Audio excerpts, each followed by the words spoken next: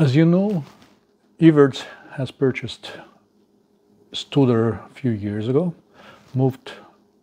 manufacturing from Hungary to Canada, and in the last few years had incorporated all the newest technologies such as Magnum control into the Vista lineup, switched the Vista control system from Windows to Linux,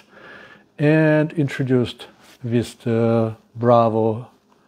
console, which is a 12 fader console, but allowing you to have a multiple touch screen surfaces connected to it for more faders. So A1 can be sitting at the main console and the A2s can work all over the place, including remotely.